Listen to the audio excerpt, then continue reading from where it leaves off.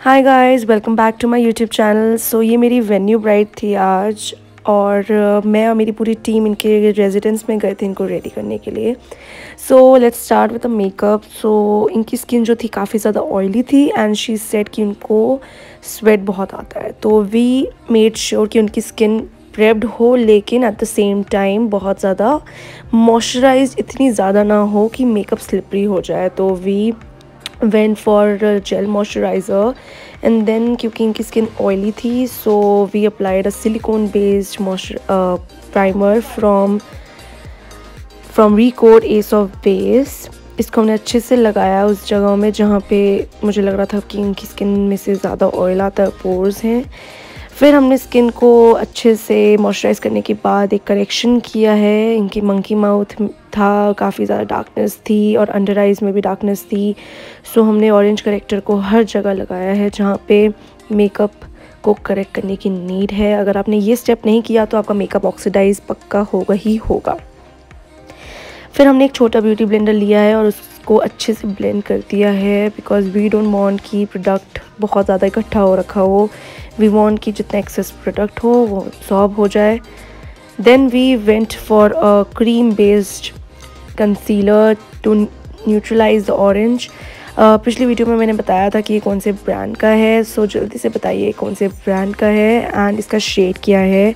इसको मैंने लगाया है न्यूट्रलाइज़ करने के लिए। अगर आपने इसे अच्छे से नहीं किया तो अगर आप अपने फाउंडेशन को लगा देंगे सीधा करेक्टर के ऊपर तो आपका फाउंडेशन भी ऑरेंज हो जाएगा और पूरा आपका मेकअप ऑरेंज ऑरेंज लगेगा।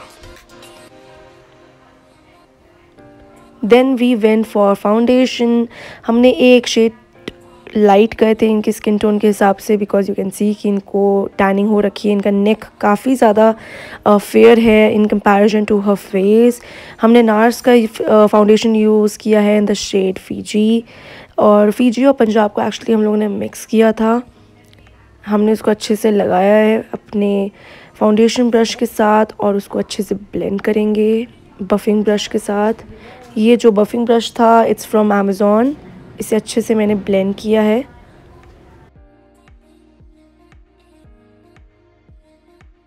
So guys if you are really liking my work आपको मेरे ट्यूटोरियल्स ऐसी पसंद आ रहे हैं और आप चाहते हैं कि मैं आगे भी अपने ब्राइड्स के ट्यूटोरियल्स डालती रहूँ so please subscribe my YouTube channel और मुझे इंस्टाग्राम में भी फॉलो कीजिए। मेरा इंस्टाग्राम में जो पेज है it's Manveen makeovers and I am a Dehradun based makeup artist अगर आप में से कोई भी मुझे बुक करना चाहता है अपने अपकमिंग वेडिंग वेडिंग्स के लिए इन देहरादून और even outside Dehradun so please मुझे इंस्टाग्राम में कॉन्टैक्ट कीजिए and you can even D M me और contact me in this WhatsApp number given below अब हम लगाएँगे कंसीलर तो concealer which I am using is Too Faced और Too face का जो शेड हमने यूज़ किया है वनीला हमने सारे हाईलाइटिंग एरियाज़ में इसको लगाया है ताकि थोड़ी कवरेज हमें और मिल जाए और हमारी जो एरियाज़ है वो भी अच्छे से हाईलाइट हो जाए।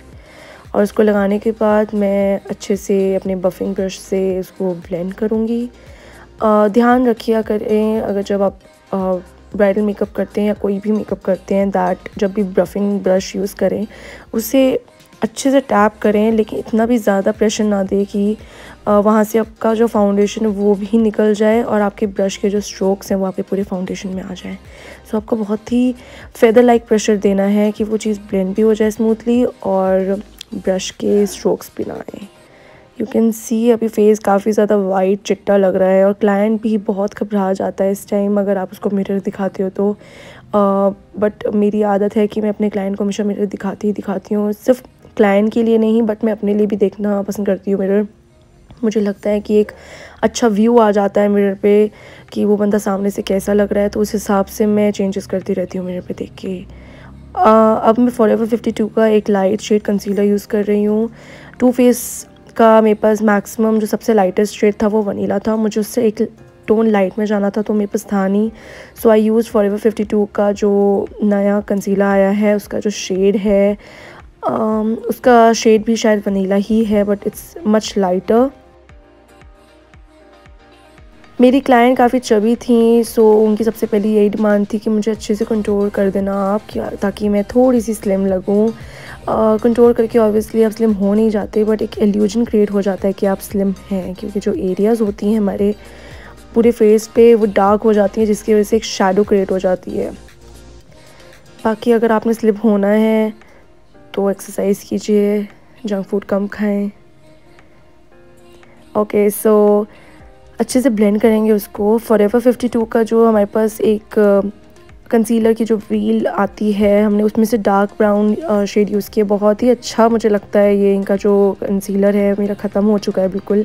मैं और कुछ यूज़ नहीं कर सक, करती इसमें से बट मुझे इनका कंट्रोल बहुत पसंद है। बिकॉज़ ये बहुत अच्छा है, बहुत अच्छे से ब्लेंड हो जाता है बहुत ही ईजिली यू कैन सी कि एकदम से ये लगाने के बाद इनका फेस काफ़ी हद तक स्लिम भी लग रहा है और जो हमारा जो फेस बहुत ही वाइट चिट्टा लग रहा था, अब वो नहीं लग रहा है बिकॉज़ हमारे कलर्स ऐड होने लग गए हैं हमारी स्किन में। एंड नाउ द मेन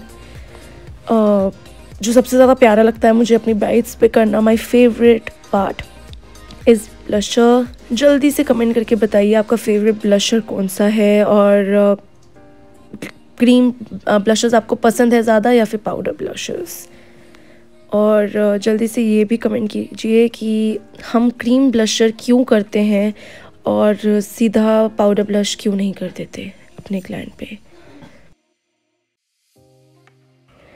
अब हम अच्छे से ब्लेंड करने के बाद अब हमने अपना प्लूम का ब्यूटी ब्लेंडर लिया है। ये बहुत बहुत बहुत पसंद है मुझे guys I can't even tell you कि मेरा ये फेवरेट ब्लेंडर है और ये मेरा शायद सेकंड या थर्ड ब्लेंडर है। ये इतना ज़्यादा सॉफ्ट है, मुझे नहीं लगता मार्केट में इससे ज़्यादा सॉफ्ट कोई भी ब्यूटी ब्लेंडर है।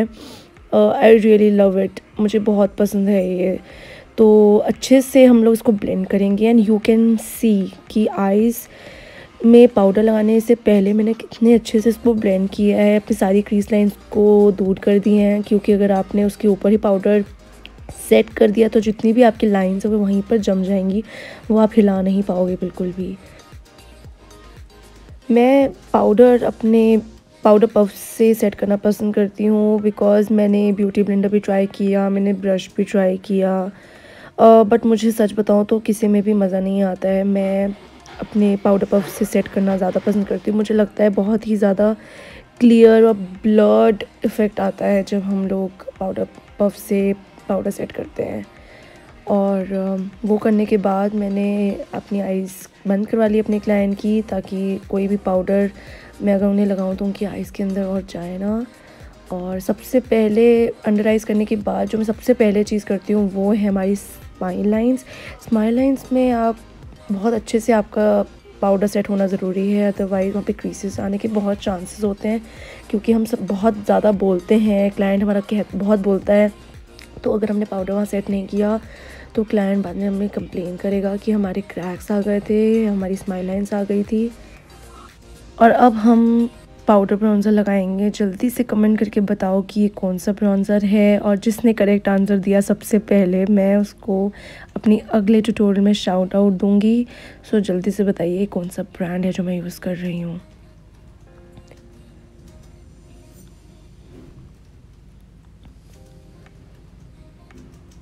Now it's time for eyes eye makeup हमारा थोड़ा सा पहले ही डन हो चुका है। हमने इसकी वीडियो नहीं बनाई है। हमने अपने आईज़ को ज़्यादा बोल्ड नहीं करना है बिकॉज़ हमारे जो लिप्स हैं वो मरून होने वाले हैं बोल्ड होने वाले हैं क्योंकि क्लाइंट की डिमांड थी कि उनको बोल्ड लिप्स चाहिए। मैं अपने आईज़ में ग्लिटर लगाने वाली हूँ और ये भी कमेंट करके बताओ कि ये कौन सा ग्लिटर है। मैं अपने नेक्स्ट वीडियो में आपको रिवील ज़रूर करूँगी बट आपको कमेंट करके बताना है कि ये कौन सा ग्लिटर है और कौन से ब्रांड का है। ग्लिटर लगाने के बाद थोड़ा सा फॉल आउट हो जाता है, वो हमने हटाया और उसके बाद कॉम्पैक्ट हमने यूज़ किया है मैक का इन द शेड थर्टी और अब हम अंडर आइज़ को अच्छे से ब्लेंड कर रहे हैं अपने आई शेडो से, जो पैलेट मैं यूज़ कर रही हूँ इट्स फ्रॉम हुडा ब्यूटी मुझे बहुत पसंद है।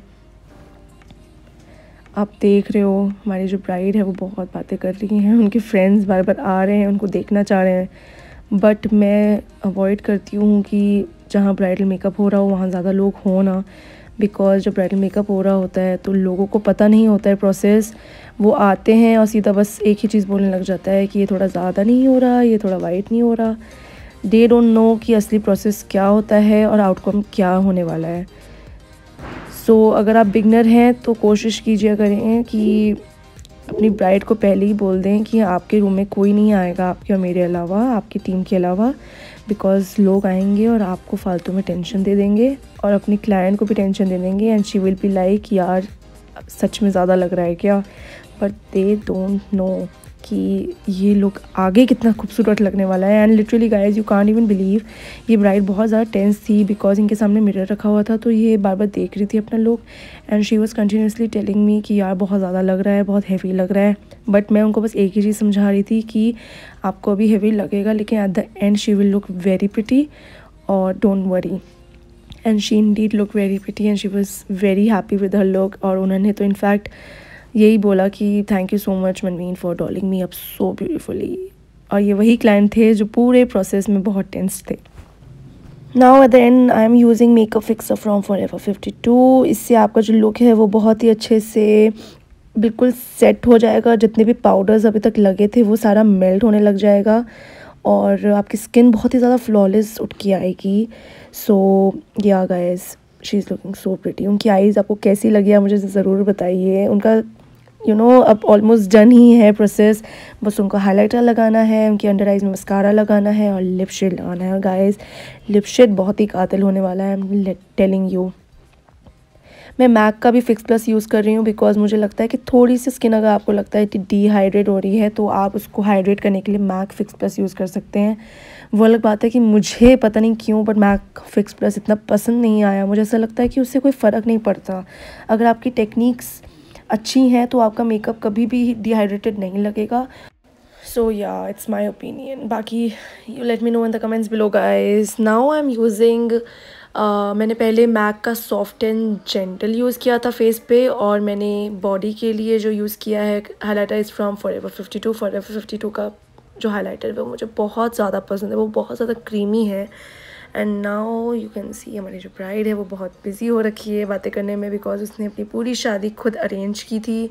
So she was very busy managing all the work while doing her makeup while getting her makeup done and now it's time for the jewellery हमने ज्वेलरी बनाई है अपने ब्राइड को। सी हमारी जो ब्राइड थी वो बॉम्बे की थी। उसने सारी शॉपिंग भी बॉम्बे से की थी और उसकी जो ज्वेलरी थी, उसकी जो सारी ड्रेस थी, वो बहुत मॉडर्न और बहुत ही प्यारी थी।